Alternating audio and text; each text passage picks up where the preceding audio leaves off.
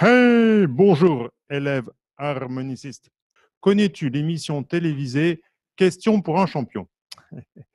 Dans ce jeu, il y a une épreuve qui s'appelle les 4 à la suite.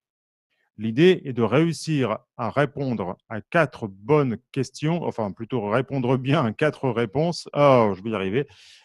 Répondre correctement à quatre questions, nous y sommes. Euh, donner donc quatre bonnes réponses à la suite. Le jeu que je vais te proposer euh, dans cette vidéo, c'est pas exactement question pour un champion. On va l'appeler les quatre altérations à la suite.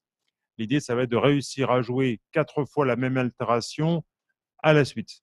Je, dis toujours que les altérations, c'est la pierre d'achoppement de l'harmoniciste parce que c'est vraiment le, passage difficile euh, dans l'apprentissage de cet instrument.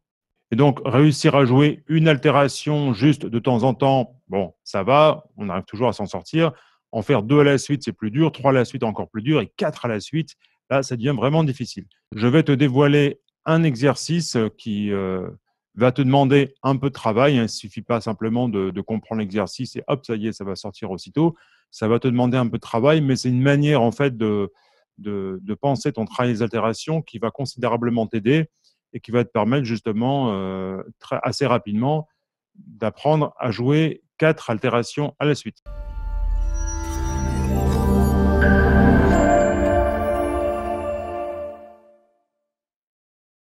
Alors en fait, j'ai eu l'idée de tourner cette vidéo parce que j'ai vu une question, la question d'un élève qui s'appelle Guy.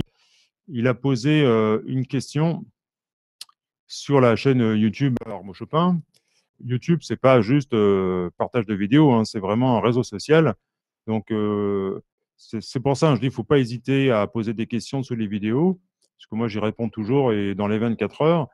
Et on est en train de parler ensemble de What a Wonderful World, un morceau qu'il euh, apprend à jouer. Bon. Et en fait, il m'a dit, bah, j'ai réussi à trouver une version sans altération du tout. Bon, alors évidemment, c'est plus simple pour moi. Je dis effectivement, si au lieu de commencer le, le, thème par un ré, tu commences par un sol, bah, du coup, tu peux jouer ta mélodie euh, en note naturelle, sauf que c'est moins expressif quoi, de, le faire en note naturelle plutôt que de le faire avec euh, des altérations. Et là-dessus, Guy me dit, euh, bah oui, effectivement, c'est exact. bon, j'essaierai la version que tu joues, mais que c'est difficile. Quatre fois un 3 altéré à la suite, un 3 altéré deux fois, oulala. Bon, bah, oui, évidemment, c'est pas évident. Donc, en fait, eh ben, je lui dis, bah, écoute, comme c'est un élève en fait qui qui commande beaucoup les vidéos, qui s'intéresse vraiment, que je sens qu'il a vraiment envie de, s'en sortir, je me suis dit, euh, bah, autant lui faire un, carrément une petite vidéo pour l'expliquer comment il peut réussir cette prouesse. On va prendre donc euh, un harmonica en, si bémol, par exemple. Euh, là, j'ai pris une bête de course en si bémol, mais tu peux prendre n'importe quel harmonica, le, principe est le même. L'idée, c'est de, de jouer une altération, déjà de réussir à jouer une altération. Alors, ce que je vais faire, c'est que je vais prendre un accordeur chromatique. Je te conseille vraiment déjà, c'est le tout premier conseil quand tu veux euh, euh, apprendre à jouer des altérations. Bien sûr, tu peux te fier à ton oreille, tu peux jouer d'un autre instrument en même temps, mais le mieux, c'est encore l'accordeur chromatique. Donc, le premier conseil euh, que je vais te donner, c'est de servir d'un accordeur chromatique. Voilà, moi j'ai pris un Korg CA30. Il existe d'autres modèles aujourd'hui. Si tu n'as pas le tien, je te mets un lien sous la vidéo pour commander ton propre accordeur chromatique. Donc, comment ça fonctionne bah, Tout simplement, euh, on l'allume ici, tac. Et pendant que je parle, euh, bien en fait, l'accordeur euh, chromatique réagit. Là, je parle en sol. Je suis content de l'apprendre. Et si je monte ma voix, là, je suis en sol dièse. Et si je baisse ma voix, là, je suis en fa. Ok, bon.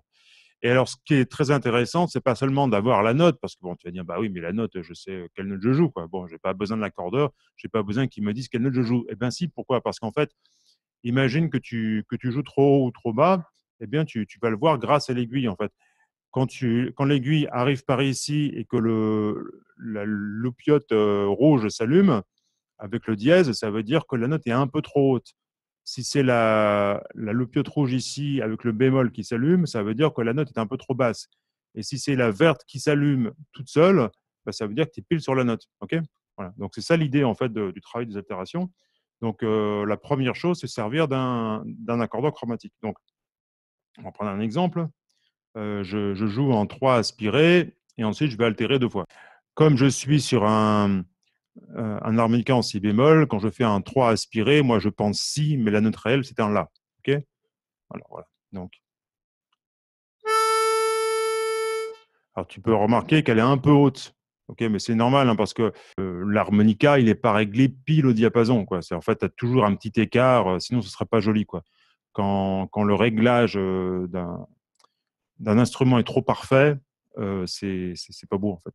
Bon, on reparlera de ça plus tard, mais voilà. Sache que c'est normal que l'aiguille. C'est pour ça que si ton altération n'est pas pile, pile, pile, pile ici, c'est pas très grave. Par contre, si elle est au-delà du, du, triangle ici, le triangle qu'elle a, euh, si l'aiguille est au-delà de ça et que ça, du coup, ça, ça, s'allume rouge tout seul, comme c'est le cas ici, bah, ça veut dire que c'est vraiment trop. Et à l'inverse, euh, mais c'est le même problème, si ça dépasse, euh, si c'est plus bas que, que, la flèche ici à gauche, voilà, ici, si c'est par ici, et que c'est le diode rouge ici qui s'allume toute seule, bah, c'est pareil, c'est que c'est beaucoup trop bas. ok mais ça te donne une indication. Après, c'est pas non plus au hertz près, quoi. Hein. Tu sais que la fréquence, je ne sais pas si tu le sais d'ailleurs, mais la fréquence, ça se mesure en hertz. Le La de référence, c'est 440 hertz. Bon, voilà, si, ton, si ton altération, elle est 1 hertz plus, plus haut, plus bas, ou 2 hertz plus haut, 2 hertz plus bas, ça va pas tellement s'entendre. Bon, faut pas chercher la précision absolue. C'est bien de, de, jouer juste, hein, mais faut pas forcément chercher la précision absolue mais il faut quand même rester dans une zone acceptable. Alors moi, ce que j'appelle la zone acceptable, tu le vois sur l'accordeur, c'est entre ces deux triangles. Maintenant, je vais essayer d'altérer en trois altérés deux fois. Je dis que j'essaye parce que, alors, j'ai deux, trois handicaps. Euh, le premier handicap, c'est que je suis obligé de tenir l'accordeur euh, ici pour que tu puisses voir comment ça fonctionne. Euh, l'harmonica de l'autre main, me mettre face au micro et bah, comme j'ai j'ai une faiblesse dans le bras gauche, euh, ça, ça vient d'un ancien accident. Et ben, du coup, euh, c'est pas évident. Donc, euh, je vais essayer de m'en sortir. tu vois, là, c'était sol. Et l'aiguille était un petit peu un petit peu trop haute.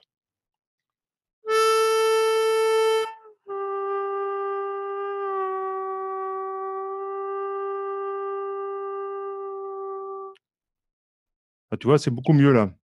Le deuxième conseil, c'est euh, une fois que tu sais euh, jouer l'altération. alors, deuxième conseil, en fait, c'est de, le faire un peu chaque jour. C'est-à-dire tous les jours, tu prends cinq minutes et tu travailles ton 3 altéré deux fois, par exemple. Et alors, en fait, l'idée, c'est quoi? C'est que tu vas dire Ah, ça y est, j'ai réussi. Ouais. Alors, ce que font beaucoup d'élèves, c'est euh, Ah, ça y est, j'ai réussi à jouer mon altération. Ouf, super. Voilà, ils posent l'harmonica. Allez hop, ils remballent tout. Ils remballent le cahier, tout. Ah, génial, ça y est, maintenant, je sais jouer. Puis ils recommencent le lendemain, ils ne savent plus c'est pas vrai, j'ai réussi hier, quoi. Pourquoi j'arrive plus? Qu'est-ce qui se passe dans cette harmonica C'est peut-être que leur, il doit être, il doit avoir un truc qui va pas. Alors il démonte l'harmonica et bon, non, en fait, ça vient d'eux, en fait. Hein. voilà, donc ça vient d'eux. Alors pourquoi? Bah c'est pas parce qu'ils ont oublié, parce qu'ils sont, enfin, il s'est pas passé. Qu'est-ce qui est bien pu se passer dans la nuit pour que d'un seul coup? Non, en fait, c'est que peut-être qu'ils ont réussi un peu par hasard, quoi. Et là, OK, alors bien sûr, ils peuvent suivre mes cours. J'ai des cours, hein, justement, j'explique quelle est la meilleure position de langue, comment on met la pression dans la bouche, etc. Enfin, tout ça, je l'explique dans les cours. Donc, forcément, ils se, suivent ils se servent d'une base. Mais après, il faut quand même qu'ils puissent imaginer ce qu'ils font. Donc, c'est ça qui n'est pas évident. Donc, si tu en es là, peut-être que tu vas dire, bah oui, justement, c'est exactement le même problème que j'ai. C'est-à-dire qu'en fait, un jour, j'y arrive et le lendemain, j'y arrive plus. Bon. Alors, ce que je te conseille de faire, c'est de noter, de vraiment écrire, par exemple, alors effectivement, je ressens que ma langue est ici. ah bah tiens, là, ça touche les dents. J'ai le bout de la langue qui est dirigé vers le nez. Enfin voilà, tu, peux essayer de trouver toutes les indications que tu veux. Tu les notes, tu fais des schémas, etc. Et au fil des jours, mais ben, en fait, tu vas affiner ta perception de ce que tu fais à l'intérieur de la bouche et c'est ça qui va faire qu'un jour, tu vas dire, bah oui, c'est vrai, il faut que je pense à telle position de langue. Là, la, pointe de la langue est ici, les bords de la langue sont là, euh, le fond de la langue est ici, etc. Donc maintenant que je, fais ça, je reprends ma position. Ah, bah oui, ça fonctionne. OK? Et après, c'est juste affiner un tout petit peu euh, le, mouvement au fil des jours. Donc ça, c'est vraiment quelque chose à faire. Donc, tu te sers de, mes cours sur, sur les altérations, mais c'est pas parce que, en fait, c'est ça le problème de, des altérations. C'est pour, pour ça que c'est un passage difficile. Parce que, bon, au piano, euh, quand je donne un cours de piano, je dis, écoute, ta, ta main est mal placée, là, toi, tu t'écrases ta main ou tu, tu relèves trop le poignet trop haut, trop bas. Regarde bien la position, bah, tu, te regardes, tu regardes ta main. Ou si tu joues de la flûte, tu dis, bah non, regarde bien la position de tes doigts sur les trous. Ah oui, tiens, j'ai, j'ai mal positionné mon doigt. Bon, c'est pas très difficile, il suffit de regarder ce qu'on fait. Mais l'harmonica, il faut imaginer ce qu'on fait. Et parfois, on se dit, ah ouais, ma langue est exactement ici, puis en fait, ça se trouve, elle n'est pas exactement là, mais comme tu imagines euh, qu'elle est là et que ça te convient, voilà, il faut rien changer, quoi. Donc, il faut, en fait, il faut imaginer les choses, c'est ça qui est, ce qui est pas évident. Hein. Tu peux, même si tu te regardes devant la glace, euh, comment est ma langue? Ah, Tu peux pas le voir. Donc, il faut vraiment que tu imagines. Donc, c'est ça le, deuxième conseil que je te donne, c'est de, de, de, faire des croquis sur euh, la manière dont est positionnée ta langue. Hein. Donc, tu t'aides de, mes, de mes cours en vidéo de mes explications, des exercices que je te fournis dans la formation. Mais euh, ça suffit pas. Il faut que toi-même, tu fasses tes propres schémas. Tu dises, ah ouais, ok. Donc, quand Bertrand dit que la langue est ici, tiens, moi, c'est pas exactement ça. Je la ressens plutôt. J'ai l'impression que ça marche mieux quand la langue est là. Ok, très bien. Donc, tu l'écris, tu le notes, tu fais des phrases, tu fais des croquis, tout ce que tu veux. Et voilà. Et à force, moi, j'ai fait ça. Hein, et à force, bah, tu trouves la position idéale pour toi. Ça commence à fonctionner. Et alors, le troisième conseil, donc là, c'est ce qui permet fait, de, jouer plusieurs fois la même altération, parce que tu pourrais. En fait, qu'est-ce qu'il y a de difficile? Je veux dire, quelqu'un qui connaît pas du tout l'instrument devrait dire Attends, je ne comprends pas. Le gars, il sait jouer l'altération en trois altéré deux fois, il sait le faire, voilà, il l'a déjà fait une fois. Bah, il a qu'à répéter, puis une deuxième, une troisième, une quatrième fois, puis vingt fois s'il le veut. Quoi. Quel est le problème? Je veux dire, si, je veux dire, si, je suis capable de, de dessiner un arbre, par exemple, je ne suis pas très bon en dessin. Bon je suis capable de dessiner un arbre, bah, je peux faire deux arbres, trois arbres, quatre arbres. Je veux dire, qu'est-ce qui m'en empêche? Mais Justement, le problème de réussir à faire quatre fois l'altération de suite, c'est parce qu'en fait, tu n'es pas tout à fait sûr de ta position. Et tant que tu ne seras pas complètement sûr de ta position, bah, tu vas avoir du mal à la faire plusieurs fois de suite. Alors, pour illustrer mon troisième conseil, tout d'abord, ce qu'il ne faut pas faire. Et si je te parle de ça, c'est parce que je vois beaucoup d'élèves qui le font. Ouais, ça y est, j'en ai réussi une, super. Allez, la deuxième maintenant. Ben non, tu vois, j'exagère, mais le truc, c'est ça, c'est que tu perds la position. Et, euh, et après, quand tu reprends. Ah, zut, j'ai réussi à la première. Ah ben voilà, je savais, euh, j'ai du mal à en jouer deux la suite. Quoi. Ben non. Bon, j'exagère le mouvement, tu. C'est-à-dire qu'en fait, il faut, pas, faut pas bouger. Quoi. Tu dis, OK, maintenant j'ai réussi, j'ai bien repéré ma position et j'essaie de faire la suivante. Quoi. Je ne bouge rien. Quoi. Je ne me dis pas, ouais, ça y est, on l'a déjà une. Allez, la deuxième maintenant. Tu vois. Bon. Voilà, c'est ça le truc. Hein. Évidemment, j'exagère. Hein. L'élève ne fait pas ça. Waouh, super, waouh, génial, ah, super, ça y est, j'ai réussi. Maintenant, je joue la deuxième, puisque le but du morceau, c'est d'en jouer quatre à la suite. Donc, évidemment, tu vas pas, tu vas pas faire le zouave entre deux altérations. J'exagère le mouvement. C'est pour te dire que si tu commences à bouger dans tous les sens, tu vas perdre ta position et tu vas perdre tes repères. Tu vois, c'est ça que je veux dire. En fait. Donc, ce qu'il faut euh, réussir à faire, c'est ne rien bouger, quoi. Ok?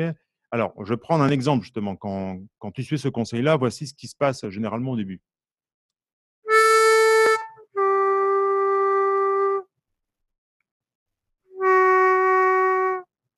Ah zut J'avais réussi la première, j'ai rien bougé, j'ai fait comme Bertrand m'a dit, puis finalement, bah, euh, ça marche pas. Bon, alors, dans, ces cas-là, qu'est-ce que fait l'élève? Oh, flûte, j'en ai marre, boum, il pose l'harmonica, bon, allez, je vais faire une pause, je vais tirer un peu, ça ira mieux demain. Bon, non, c'est pas ça. C'est analyser en fait les choses. C'est-à-dire que tu as l'impression de ne pas avoir bougé.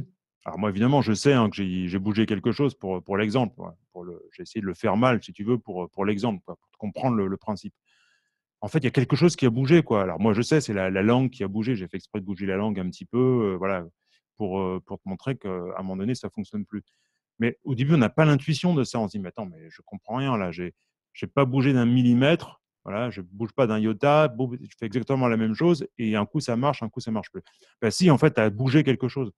Donc peut-être que tu as bougé la pointe de la langue, peut-être que, que tu as serré un peu les mâchoires entre deux altérations, peut-être que tu as attrapé l'harmonica un petit peu plus fermement. En fait, la moindre variation de, mouvement, euh, ça peut te faire perdre l'altération. Alors, tu pourrais dire, oh là là, mais c'est vraiment compliqué, l'harmonica, c'est si dur que ça. En fait, c'est pas que ce soit vraiment difficile, ce qui est difficile pour l'instant, c'est que tu n'as pas encore la conscience de, tout ce que tu fais, en fait. À quel moment on se sert de sa langue dans la vie de tous les jours?